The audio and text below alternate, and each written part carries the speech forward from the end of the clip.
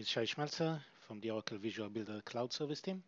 And in this short demonstration, we're going to show you how to add new Oracle Jet UI components to Oracle Visual Builder Cloud Service. So in this tutorial, we're going to show you how to extend and add more UI components to the list of components you see over here in the component palette. So most of those components are Oracle Jet components. For those of you who are not familiar, if you go to oraclejet.org, you'll get to more information about Oracle Jet, which is our Java extension toolkit from Oracle. It's an open source thing. Um, one of the very useful things they have here is a cookbook with a lot of samples for each one of the components. Now, as you can see, they have a lot of components over here, and some of those are not actually included in your um, component palette in VBCS by default. So how can you add one of those to your application? Okay, so let's pick, for example, uh, the train component. Okay, um, let's look it up. Yeah, there you go. So this is the train component. It gives you this type of navigation menu that you can add to an application. Now, the nice thing about the JET cookbook is that you can actually see exactly how to use it. Um, you can see there's an OJ train tag in here, uh, and then this is the data structure that it receives. Okay, so this is the step array, there's label and ID, and if you look over here, um, we're using the step array as the steps for this menu. Okay, and by the way, if you would change something like this, you go over here and you say fifth, okay, and click apply, you would see this is changing here. So this is the JET cookbook, and let's see how we can now add this train component to our interface. So we have a little page over here. Uh, we can drop, for example, a button over here, but if you scroll down or if you search here, you wouldn't find the train component. That doesn't mean that you can't add it. First of all, if you go to the code level, okay, and uh, let's copy this section for the button. And after that one instead of a button we want to add a train. So if you click here and you do OJ and then T uh, you would see that the train is actually in here. So you can choose it. Okay but that won't be enough. Uh, you'll see in a minute that you need to do one more thing um, which is this whole thing is using the same jet way of loading things which is using require.js. Okay, and in require.js you need to specify which components you add to a page. Okay, so since we're adding here OJS OJ train, we'll be able to use it in a page. It's the same thing in your application. Okay, so you might be wondering where are my component defined. If you click on the code section of your page, okay, you'll see here, this is the definition of the page, and over here we have all the components that are defined in the page. So just to show you as an example, right now it says OJS OJ button. If I go back over to my UI design, okay, and let's say I add an avatar component down here, okay, and you'll now go back into the code area, you'll see that now we added the avatar. So if we want to add the train component, we basically need to copy, for example, this section, paste it. Okay, we might want to reformat this. Okay, instead of OJ button, we'll call this one the train. Okay, and we'll specify here exactly the same thing that you have specified here. So you can actually just copy it from here and paste it over here.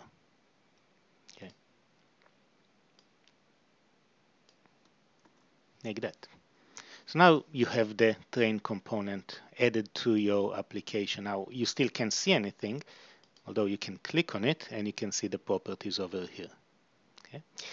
Um, in order to see something, you actually need to define steps. Now steps, if we look again over here, here they are defined as an array. Okay, so you want to have an array in your application as well. How do you define that? You can go over to your variables okay? And you can create here an array variable. But you also want to have um, a, a, type of um, steps right? So let's create a custom type. Okay? Um, this would be an object and we'll call it a step. Okay? And inside the step we'll add two string variables. Okay? One of them is called id okay and the other one is called label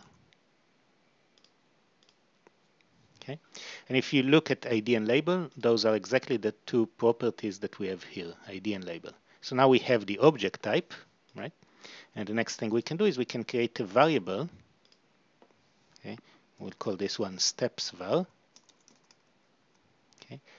And this would be an array okay? And the type of the array would be step right so now we have a variable that we can associate steps to okay um, and if we go back to our UI and in the train we can indicate that the steps are coming from this steps variable so now we need to populate this variable with values um, one place where we can do this is when we load the page. So let's create an action, okay, and we'll call this one load steps. And we'll use an assign variable. In here, we'll take the steps variable items and we'll assign values to them. Okay, so label, for example, could be first, and ID can be, for example, 1. All right. So now we have an action. We'll go back to the page and we'll invoke this action when we enter the page. So new event, enter the page, and what we want to do here is load the steps. All right, let's run our little page. And when the page loads, we have a step in the train called first.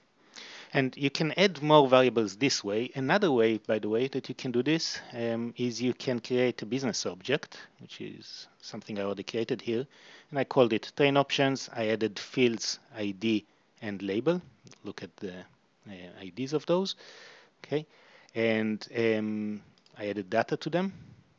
Okay. So we have the ID and the label.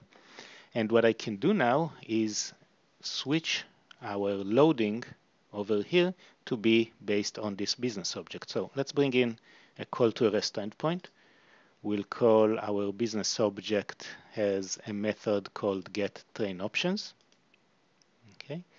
And after that we'll assign the variable. So we just move things around like this.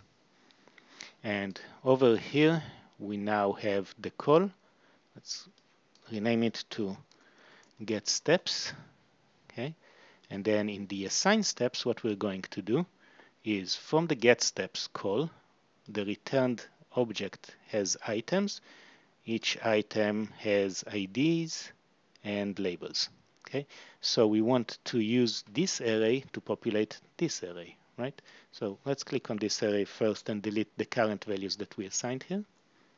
Okay, and again, we can expand this just to look at what's going on in here. Okay, you can see the same structure and we can for example take and map those two fields or two arrays together okay let's run our page now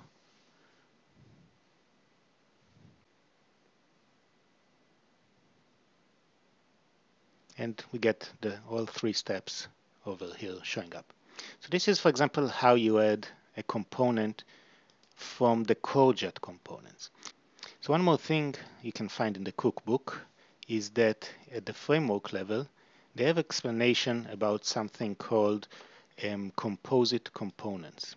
And that's a way for you to package components uh, as something that you can distribute. And those can be complex components. For example, over here you have this flip card that is defined as a component. And again, you can learn here exactly how to define a component. There's several files you need to define, and then it's just, again, HTML and JavaScript.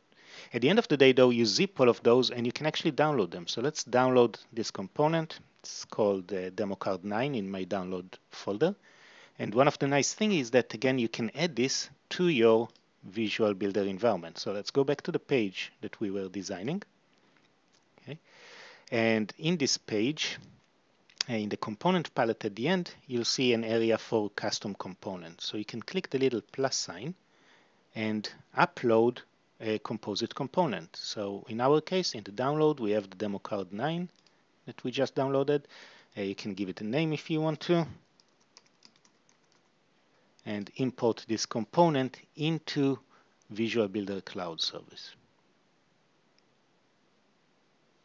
All right, so now we have the demo card over here and we can drag and drop it into the UI to create our demo card. Okay, and over here you'll see all the properties it has. So for example, we need an avatar, so this would be the image shown here. So let's pick up an image, for example, this one.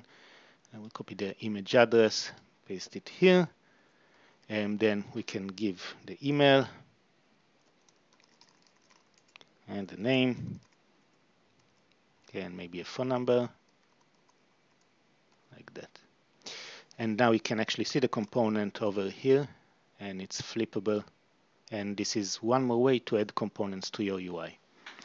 So this was a quick tutorial about how you can add even more UI components to your Visual Builder Cloud Service application.